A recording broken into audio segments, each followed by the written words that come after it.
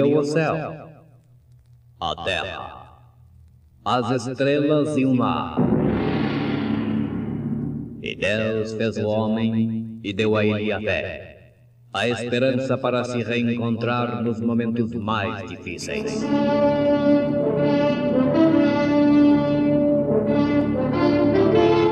E num esforço supremo para levar Deus até você, aqui está o pregador da fé. Pastor Joaquim Gonçalves nos traz fé para vencer.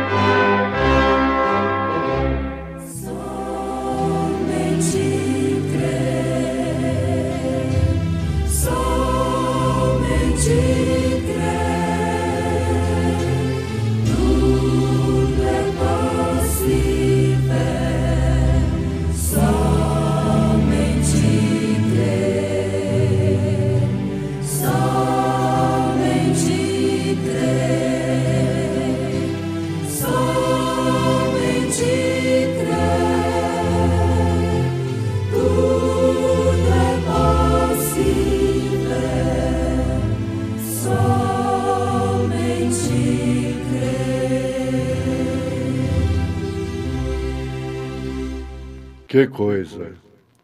Os predestinados, os que tinham vida, naturalmente eram como a semente que estava já na terra. Ao nascer do sol, e passando o sábado, Maria Madalena e Maria, mãe de Tiago e Salomé, compraram aromas para irem ungí-lo. E no primeiro dia da semana foram ao sepulcro de manhã cedo, ao nascer do sol. Sou devedor. Irmã Valdécia cantando em momentos no tabernáculo da fé.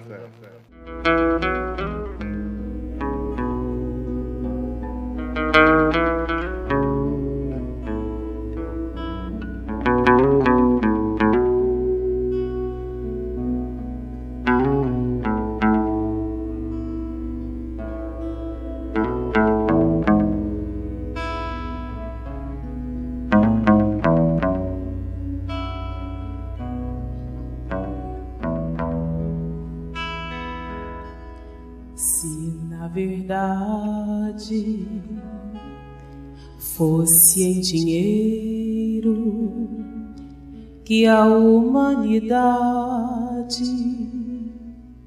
fosse pagar tão grande dívida, tão alto preço bem reconheço, verbas não há. Trinta e três anos de sofrimento,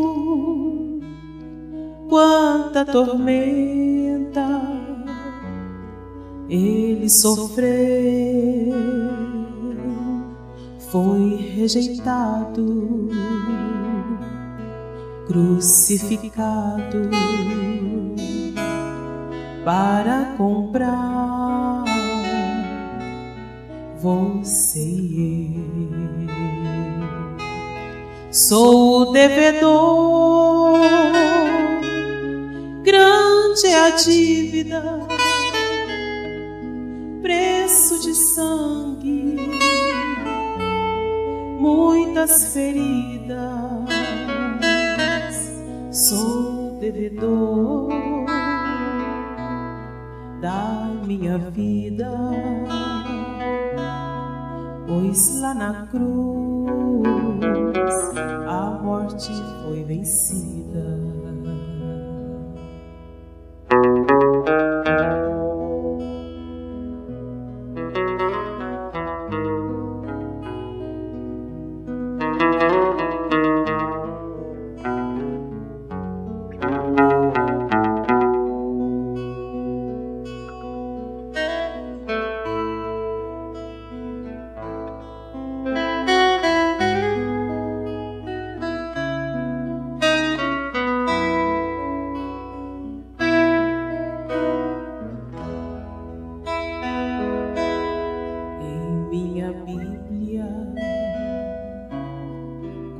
Estou lendo, vou revivendo a triste cena. Eu vejo um homem sofrer calado,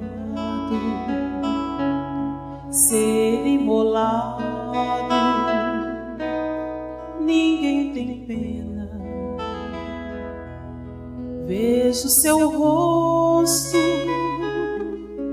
ensanguentado, vejo em seu lado outras feridas, espinhos cravos, e nesse alvo vejo resgate minha vida. Sou devedor,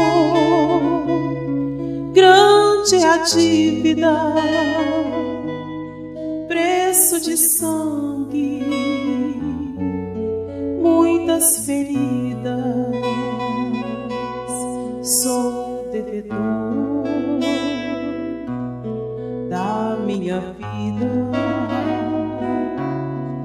Pois lá na cruz. A morte foi vencida. Sou devedor, grande a dívida, preço de sangue, muitas feridas. Sou devedor minha vida pois lá na cruz a morte foi vencida. Por Cristo Jesus, meu Senhor, pois Ele já ressuscitou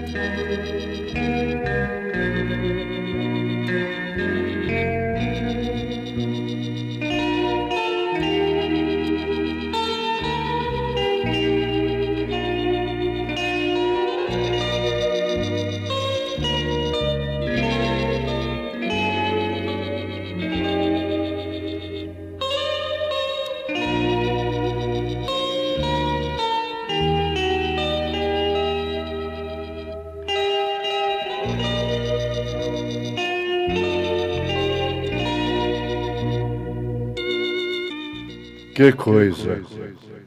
Os predestinados, os que tinham vida, naturalmente eram como a semente que estava já na terra.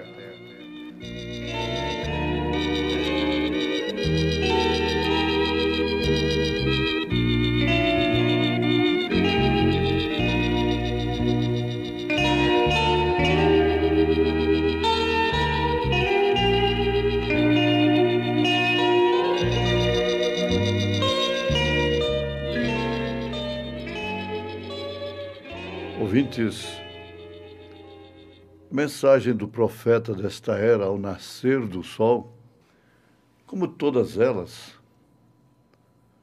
nos trazem, aliás, se referindo ao nascer do sol, nos traz muita luz, a luz perfeita, a respeito do princípio, do transcurso e do fim.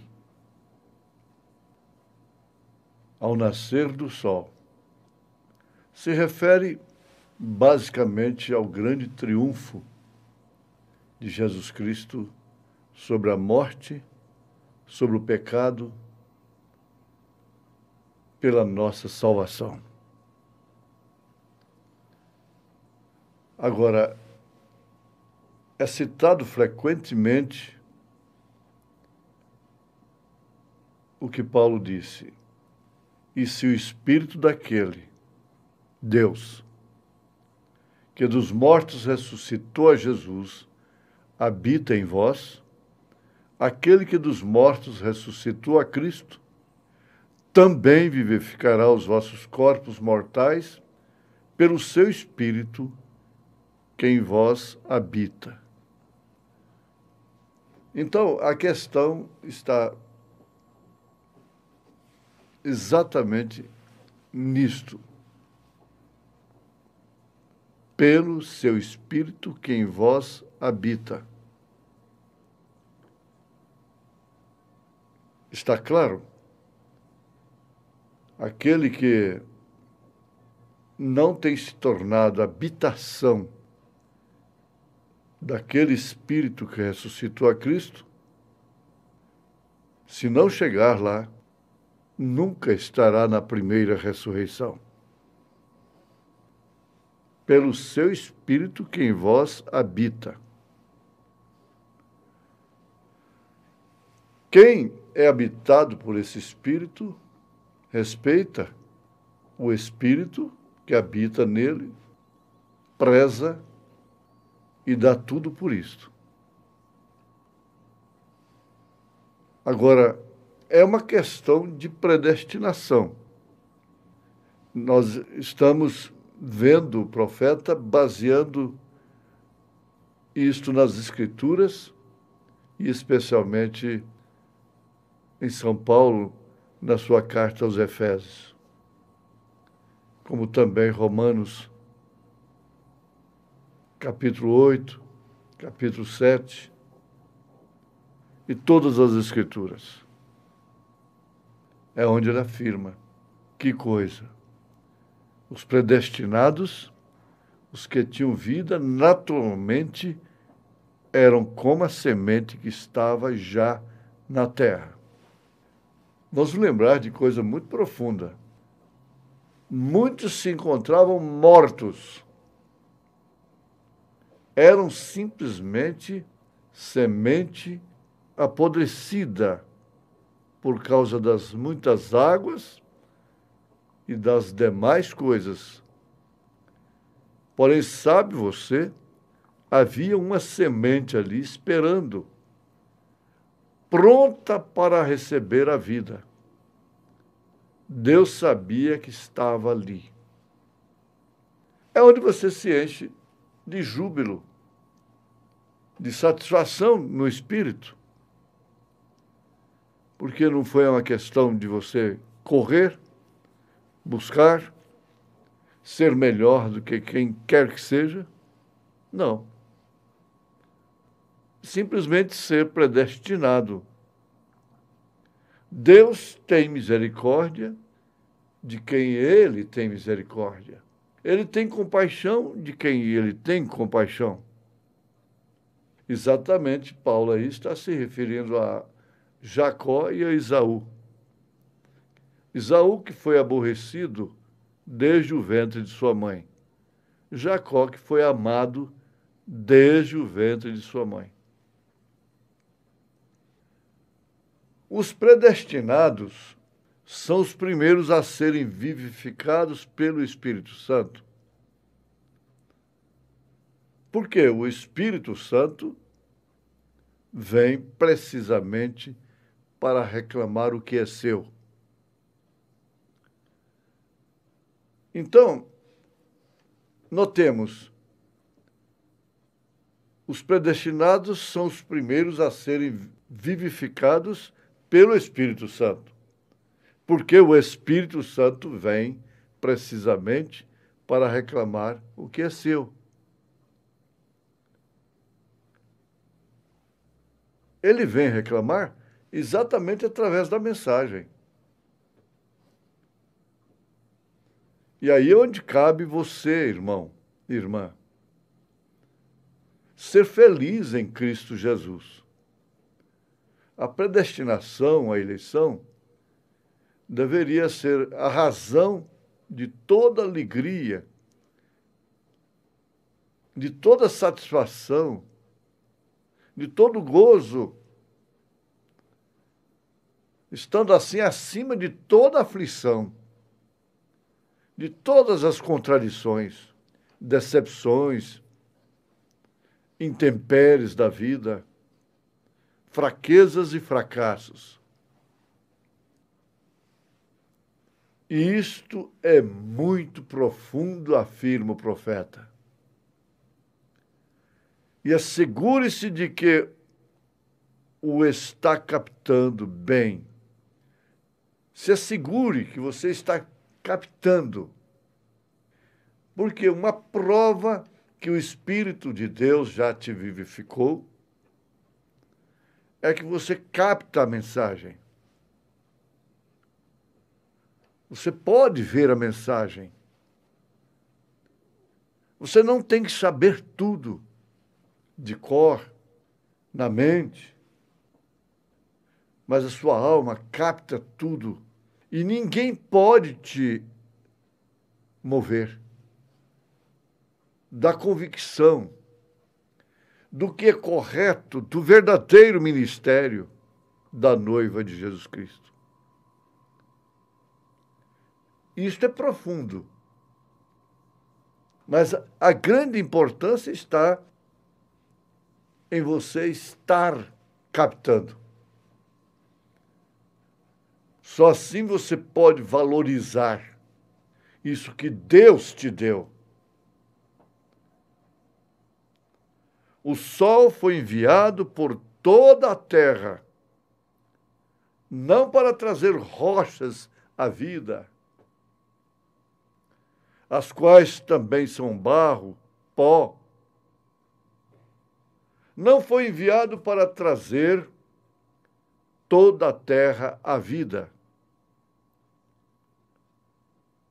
Ela poderia, as pedras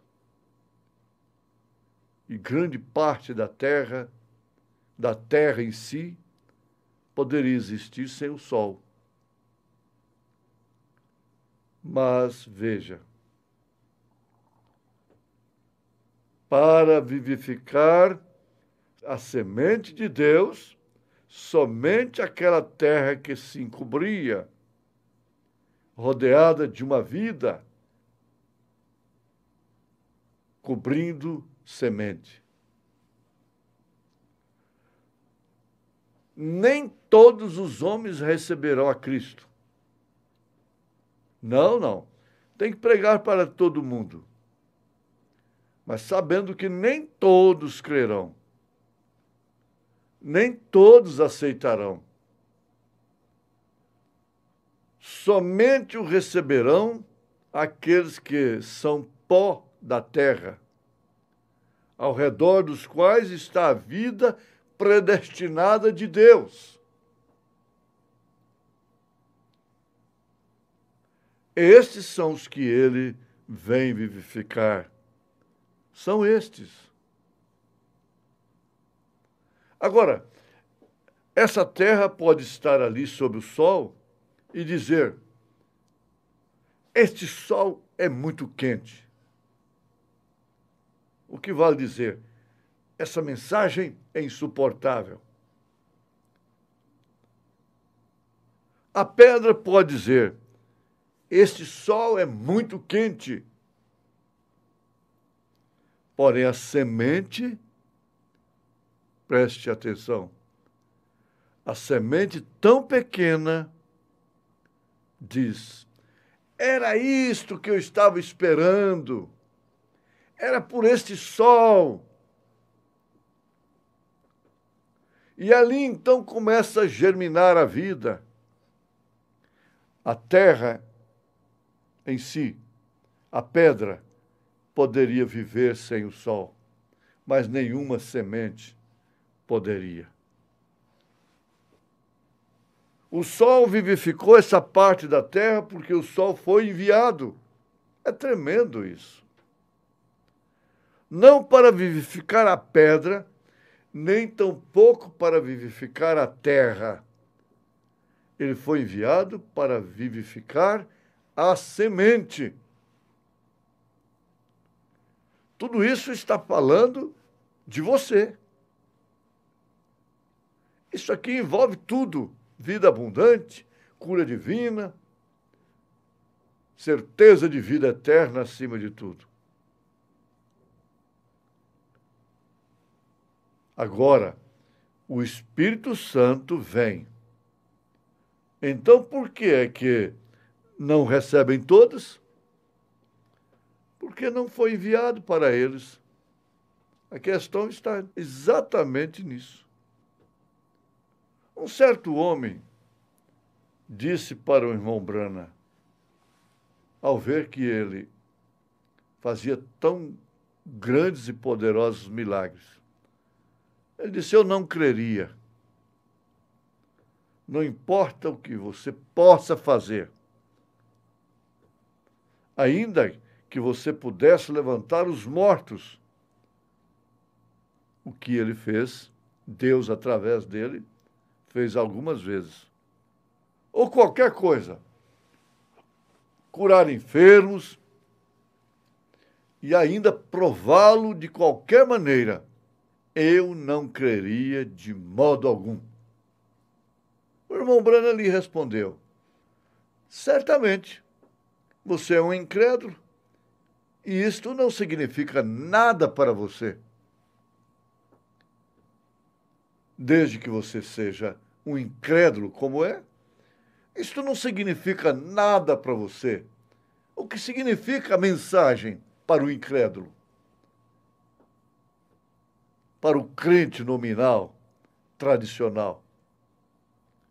Significa uma heresia? Significa uma seita? O profeta significa um falso profeta? Mas para a semente eleita? Não. A mensagem é a palavra viva do Deus vivo.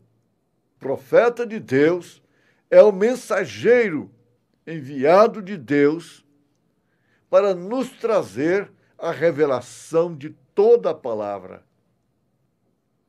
Mas o profeta afirmou para aquele homem: Isto nem sequer foi enviado para você.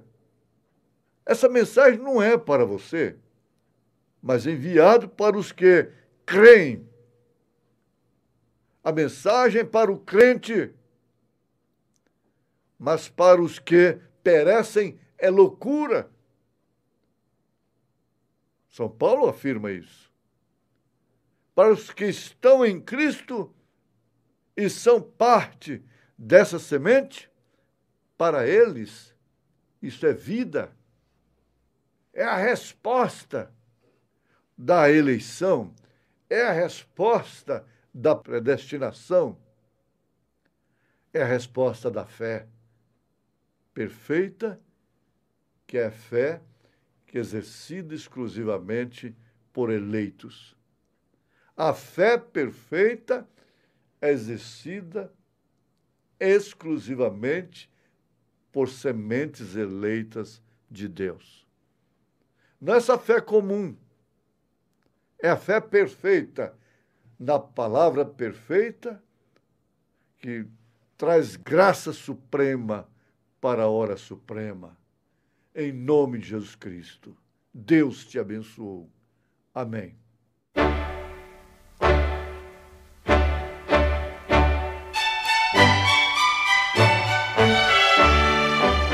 ouvintes, escreva-nos pela caixa postal de número 15020, 15020, CEP 74 501 970, Goiânia, Goiás. O nosso endereço na internet é www.apalavraoriginal.org.br. Volte a nos ouvir amanhã novamente, neste mesmo horário, nesta emissora, se o Senhor nos permitir, com fé no Filho de Deus, a fé que vence o mundo.